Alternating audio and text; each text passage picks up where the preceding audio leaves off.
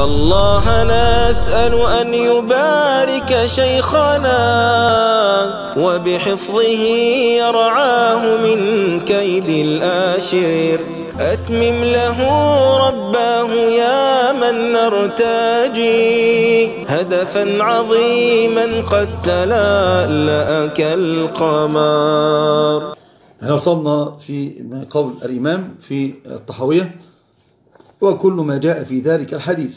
من الحديث الصحيح عن رسول الله. تكلمنا على الرؤية فهو كما قال ومعناه وتفسيره على ما أراد ولا ندخل في ذلك متأولين بآرائنا ولا متوهمين بأهوائنا فإنه ما سلم في دينه إلا من سلم لله تعالى. وتكلمنا على قول تعالى إذ قال له ربه أسلم. قال أسلمت استسلمت. أسلمت لرب العالمين. ولرسوله ورد, ورد علم ما اشتبه عليه إلى عالمه. ولا تثبت قدم قدم الإسلام إلا على ظهر التسليم والاستسلام. لابد لابد الإنسان أن يظهر العبودية الحقة وتمام العبودية بتمام الاستسلام. إلى عذار التسليم والاستسلام فمن رام علم ما حضر عنه علمه ولم يقنع بالتسليم فهمه حجبه مرامه. عن خالص التوحيد. وطبعا قلنا أن النجاة مرهونة بالتوحيد. الذين آمنوا ولم يلبسوا إيمانهم بظلم أولئك لهم الأمن وهم مهتدون. وصحيح الإيمان فتذبذب بين الكفر والإيمان والتصديق والتكذيب والإقرار والإنكار موسوسا تائها شاكا زائغا. لا مؤمنا مصدقا ولا جاحدا مكذبا. وقال حجبه مرامه عن خالص التوحيد يعني حجبه عن كمال التوحيد الواجب. وكمال التوحيد المستحب. لابد أن تعلم أن التوحيد له مراتب ثلاثة ولابد لطالب العلم أن يعلم ذلك. المراتب الثلاثة في التوحيد هو أصل التوحيد وكماله الواجب وكماله المستحب. أصل التوحيد, أصل التوحيد وهو الذي يصير به المرء مؤمنا أو يصير كافرا إن خلى منه. وكمال التوحيد الواجب أن المرء يكون فيه النقص إن لم يأتي به ويأثم ويكون قد أتى كبيرا. وكمال التوحيد المستحب هو أن يفوت درجات العلو أن يفوت درجات درجات العلو ولذلك قال حجبه ذلك عن كمال أو كامل التوحيد وصافيه. والمرء لابد أن يصفي للتوحيد حتى يصفى له. الذين آمنوا ولم يلبسوا إيمانهم بظلم يشوبه أي ظلم. ولم يلبسوا إيمانهم بظلم أولئك لهم الأمن وهم وهم يبقى الأمن التام والهداية التامة كما قال الإمام ابن تيمية. قال الأمن التام والهداية التامة منوطة بإيش؟ بالتوحيد الكامل بكمال التوحيد. فكلما كلما كلما كان التقاصر في مراتب التوحيد كلما اختل ميزان الأمن والهداية. كلما اختل ميزان الأمن والهداية. قال في قول وصافي المعرفة المعرفة هنا بمعنى العلم. يقصد بذلك علم التوحيد. أنه لا يصل للعلم الصافي والعلم الصحيح بتوحيد الرب الجليل سبحانه جل, جل في علاه. إلا, إلا أن يحجب الهوى يحجب عنه يحجب نفسه عن الهوى ويمضي في التسليم ويمضي في التسليم. عنه هذا العلم وصار ما حواه من العلم غير صحيح قليل النفع. فعلم الشريعة عام عامة وعلم التوحيد خاصة يؤتاه العبد بشيئين التسليم التام وعدم الاعتراض. كل الشريعة هكذا لكن التوحيد بالذات لا يمكن أن يؤتاه المرء إلا بتمام تسليم القلب للرب. رأيت في مسائل القدر مسائل القدر. ضحض مزلة يعني تاهت فيها ال ال يعني زلت فيها الأقدام كثيرا. زلت الأقدام كثيرا في مسائل التوحيد. لما؟ لأنه لم يسلم. ولأن التوحيد من إيش؟ من أبواب الربوبية. التوحيد هو من الغيوب. فعليك أن تسلم لأنه من الغيوب. هذا من أفعال الله جل فعلها وأفعال الله لابد أن تسلم لها تماما. فلذلك المرء في باب التوحيد بالذات إن لم يكن مستسلما ومسلما آه، بتمام التسليم لله جل فعلها لا يمكن أن يتقن العلم. فقال آه، التسليم وعدم الاعتراض والعمل بمقتضى التوحيد. طبعا أصلا مقتضى التوحيد وهو كما قلنا هو أن تترجم ما تعلمته في العلم الخبري إلى إلى القصد الطلبي إلى القصد الطلبي قال بعض السلف أما هو المشكلة لازم يتفر كده إنه هيؤثر على هذا.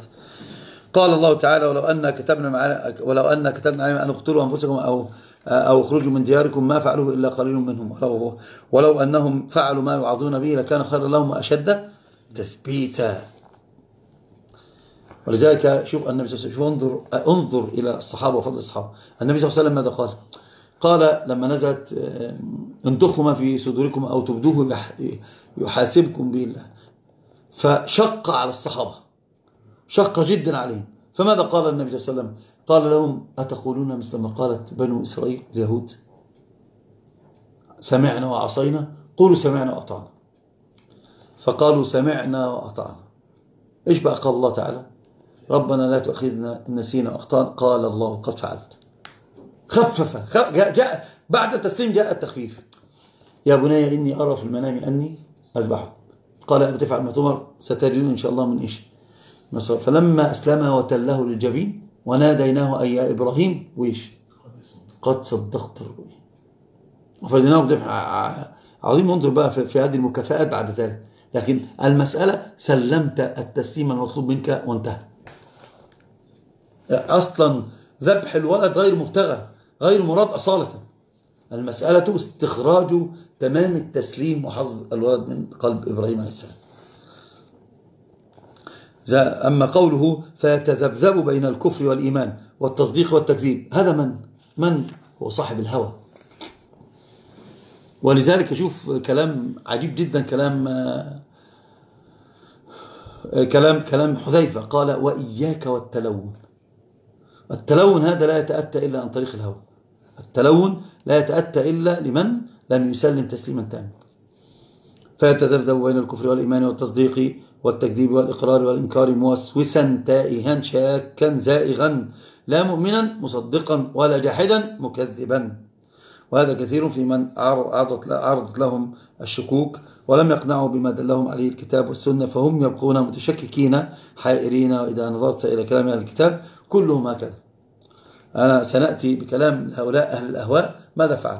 يعني هذا العالم الرباني البحر الذكي النقي من أذكياء العالم الجويني. لما قام له الهمداني وقال له يا إمام دعك مما تقول لأنه قال له كان الله لم يكن شيء. ثم قال فهو على ما كان عليه. يريد ينكر الاستواء عليه العرش. فهو ما ما ما ما, ما تكلم معه الهمداني. قال له يا إمام دعنا مما تقول. الآن النظر معك. لكن دلني على أمر أعقله. ما وجدت نفسي أريد أن أدعو ربي في شيء في حالة إلا ورفعت يدي إلى السماء. ضرب على رأسي. قال حيرني الهمداني حيرني الهمداني ولذلك يقال هو في مرض موتي بص الخلص من عباد الله حتى لو زلوا. بكى وقال ليتني مت على عقيدة عجائز نيسابور. لا علم ولا نظر ولا اطلاع. ليتني مت على عقيدة على عقيدة نساء عجائز نيسابور قال ابن رشد في تهافت التهافت ابن رشد الحفيد ذات المجتهد لأنه كان فيلسوف كبير. قال من, من, من, من الذي قال في الإلهيات شيئا يعتد به؟ ما في.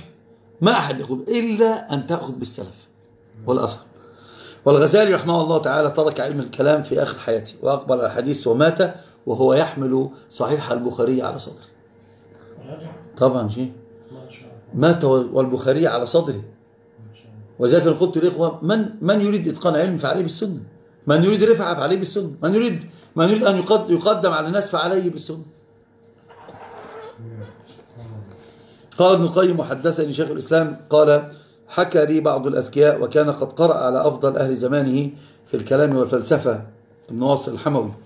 أنه آه، له الشيخ قال له الشيخ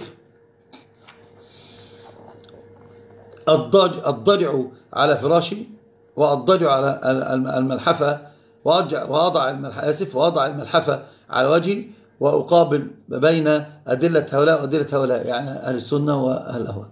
حتى يطلع الفجر أو حتى يطلع الفجر ولم يترجح عندي شيء ولهذا ذهبت طائفة من أهل الكتاب إلى القول بتكافؤ الأدلة. ومعناها أنها قد تكافأت وتعارضت فإيش؟ فسقطت. فلم يعرف الحق من الباطل وصدقوا وكذبوا. صدقوا أنهم إيش؟ على حيرة عظيمة. صدقهم أن أدلتهم وترغدهم كلها تكافأت وتصادمت فتعارضت فتتساقط ولا ولا, ولا, ولا شيء فيها. يقول نظيري في العلم مثل أعمى فترانا في حندس نتصادم ولقد صدق الأعمى أعمى البصر وأعمى البصيرة.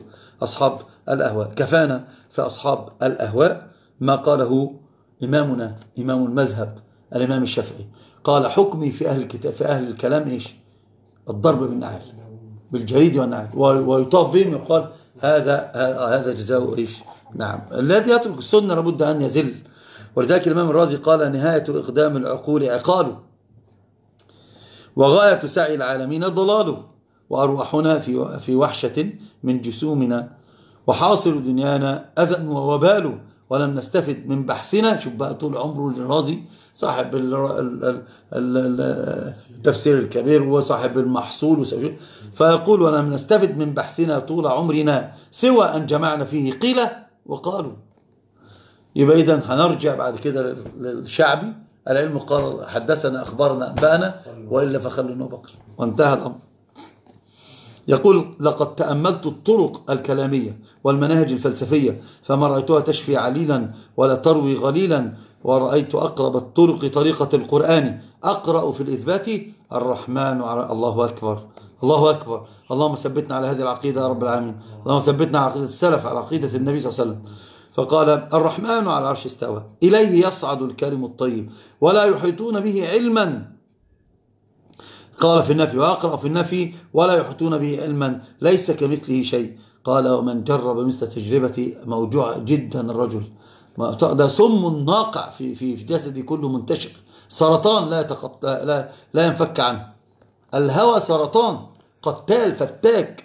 ومن جرب مثل تجربتي عرف مثل معرفتي. أبو المعالي الجويني وهذا من أذكى كما قلنا الأئمة. هو إمام الحرمين مش كده؟ آه طبعا. صاحب الورقات صاحب طبعا ليس بالهين. قال فقال في اشهدوا علي أني رجع رجعت عن كل مقالة أخالف فيها السلف. يا رب يا رب. وأيضا لابد أن نحترم هؤلاء ولابد أن نعرف لهم قدرا. أو نبل نبل. قال قال أبو المعالي الجويني من الحرمين اشهدوا علي أني رجعت عن كل مقالة أخالف فيها السلف. وأني أموت على ما يموت عليه عجائز نيسابور وكان يقول يا أصحابنا لا تشتغلوا بالكلام فلو عرفت أن الكلام يبلغ بي إلى ما بلغ ما اشتغلت به. قال أيضا شمس الدين الخصر وشاهي.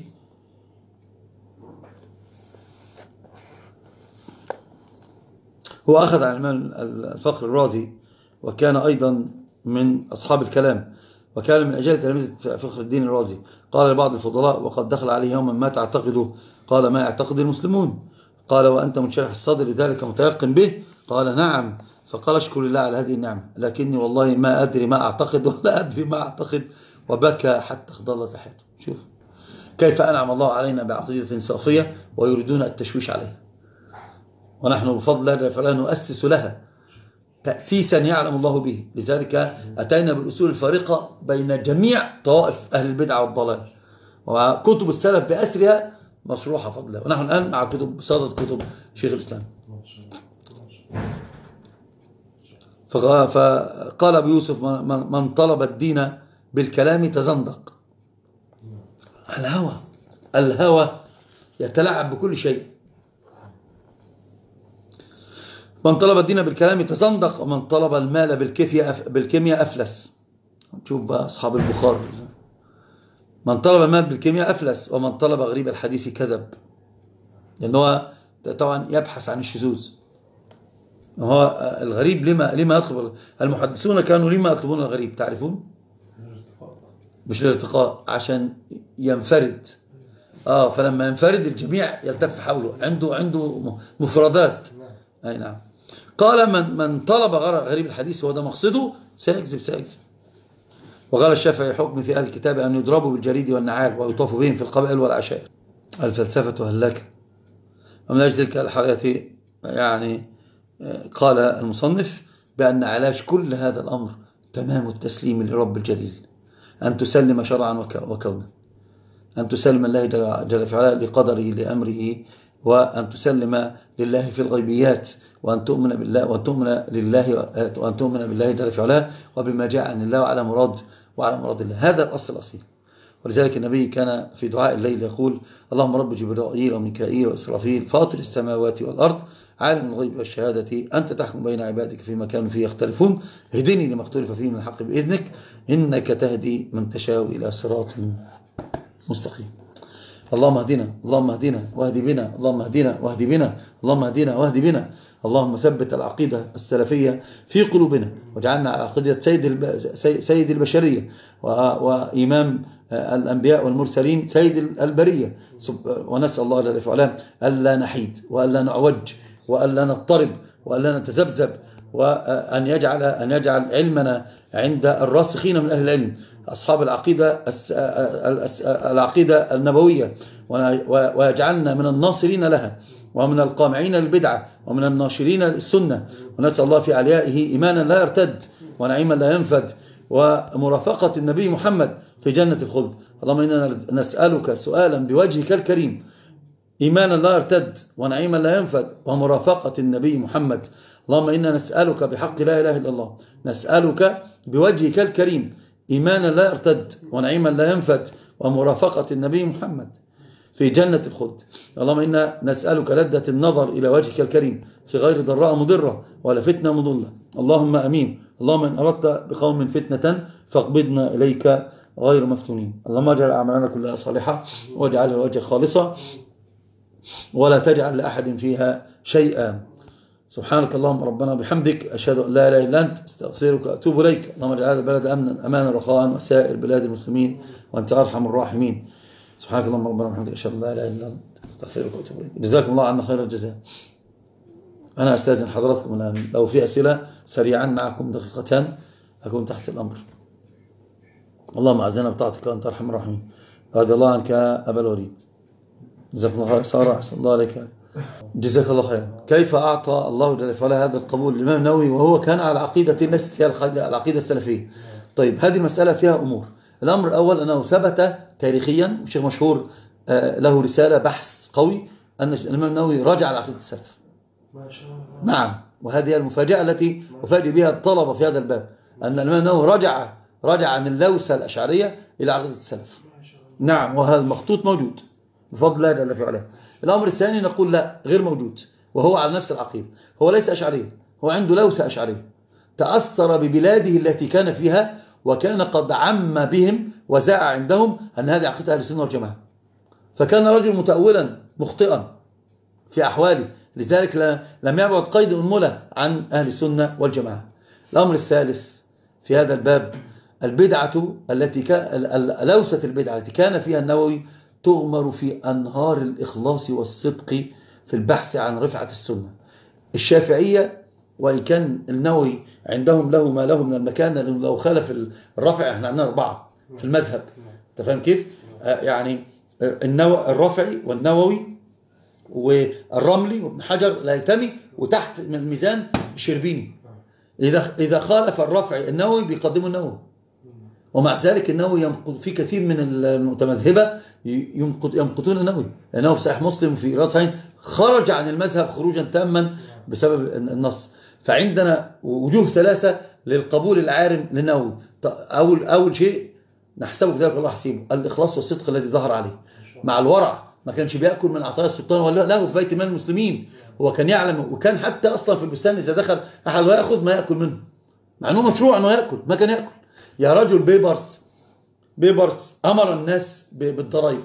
أمر وولي أمري فبعث إليه ينصحه. قال قال لا تأمر الناس بالضرائب حتى حتى حتى تخلو خزائنك من المال وعبيدك من من, من البيع. فتملأ بها الخزانة فإن لم فإن لم فإن لم تكتفى عليك أن تفرض على الناس الضرائب. المكوس. الضرائب حرام. المكوس. فنفاه. نفاه. الحمد لله ما قتلوش. نفاه. فاجتمع أهل العلم. هنا شوف تعضيد أهل العلم بعضهم لبعض. فاجتمع أهل العلم إلى بيبرس. قالوا له أتعرف من نفيت؟ إنه النووي. فلما علم بقدره أرسل إليه. أرسل إليه أن إيه؟ أن فأخذ نفس الورقة التي أرسلت. فكتب في ظهرها لا, أكس لا أساكنك في مكان. ما شاء الله. هذا بقى النووي. هذا النووي. الأمر الثاني الأمر الثاني ملاصقته للسنة. انظر صح النووي اشتهر بصحيح مسلم ورد الصالحين والأذكار. ولا ولا اشتهر بالروضة الندية ولا اشتهر بالمنهاج. ما اشتهر بالناس السنة يعلو بها صاحبها يا رجل. السنة ما عندنا إلا السنة. فلذلك النووي ارتفع من أجل هذا والله تعالى أعلم. السخاوي هو بيترجم النووي السخاوي طبعا الشافعي قال النووي بركة. دي أعظم ترجمة سمعتها وأوجزها واعظمها النووي بركة. هذه بركة وبركة النووي عظيمة جدا. نسأل الله أن يجعلنا جميعا منهم. اللهم آمين يا رب العالمين. طيب اذا كان في سؤال هنا الأخ حسام يقول ترك ترك النصح أو ترك إنكار على يسبون الدين؟ لا ما فيش ما فيش حاجة اسمها تركها. سب الدين كفر. من سب الدين كفر. يخرج من الملة. لابد أن تجلس حتى يهدي يهتدي أو قل يهدى ويهدأ وأنت تتحين الفرصة الطيبة وتقول له قل لا إله إلا الله لا تفعل كذا بس. شفنا هناك اسئله بعتها طريق العمل طب ماشي اطرحها الآن اطرحها اتفضل متى يقال في المسألة الفقهية أنها فيها خلاف معتد به؟ عندما يكون لكل دليل فإن كان لكل دليل أو المسألة اجتهادية محضة فهذا خلاف معتبر. لابد إن كنت عالما فتستطيع أن تنظر في في الاختلاف. أين الاختلاف؟ وأين محل الاختلاف؟ وأين محل النزاع؟ وكيفية الترجيح. فترجح. فإن لم تكن فعليك بمن تعلم أنه الأعلم فتلزمه. فإن لم يكن خلي بينك وبينهم وكن عابدا ربك وحدك. نعم. السؤال السادس شيخنا متى يحكى الإجماع في عصرنا؟ متى إيش؟ يحكى الإجماع في عصرنا. الإجماع في عصرنا غير معتد به في هذا الباب لكن يحكى الإجماع إذا كانت نازلة من النوازل وقد اجتمع يعني الجماعات الفقهية ليست ليست ميزانا فقد اجتمع العلماء الذين اتفقت الأمة على أنهم على أنهم من المجتهدين على المسألة. فيقال هذا إجماع. وهذا صعب جدا صراحة. رضي الله عنه سبحانك اللهم ربنا وبحمدك أشهد أن لا إله إلا أنت أستغفرك وأتوب إليك. جزاكم الله خيرا. قلنا في اختبارات والاختبارات أنا أتنازل عنها. طيب فالاختبارات كانت للأخت هذه ما اسمها؟ صاحبة الجنون. الاختبار للمغني غدا والأخت صاحبتك الأخرى شيماء صح كده؟ اللي أيضا متن أبي شجاع المحاضرات الثلاثة أو الأربعة غدا. طيب خلاص إن شاء الله. جزاكم الله خيرا. فاستعدوا. وأيضا أنا أريد أختبر الجميع اللي في الفيس الجميع اللي في المكسر لأنه عدم الاختبار جعلهم يتوانون. نسأل الله أن يحفظنا ويحفظكم ويجعل ذلك ميزان الحسنات. ما كان الله دام واتصل وما كان غير الله قطع وانفصل والعملة الزائفة لا ترج على الله. السلام عليكم ورحمة الله وبركاته. ولشيخنا همة علت الثريا فنالت من فنون الدين ريا. ولشيخنا همة علت الثريا فنالت من فنون الدين ريا. فذا فقه كسقي الماء كانا وتلك عقيدة السلف النقيا. وتلك عقيدة السلف نقيا. فأخلص نية ربي وبارك على شيخ نبيل الخلق والضاح المحيا.